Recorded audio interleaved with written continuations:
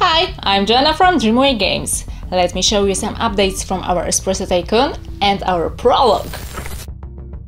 We've just announced the prologue's location underwater in Sydney. That means you will be running a coffee shop in the depths of the Pacific Ocean. We've had the official premiere of the gameplay trailer and announced the release date. The free prologue is coming this October. What's worth noticing? Our community chose the location for the prologue. We made a survey and gave 6 different options to choose from. The underwater got the most votes. What's important?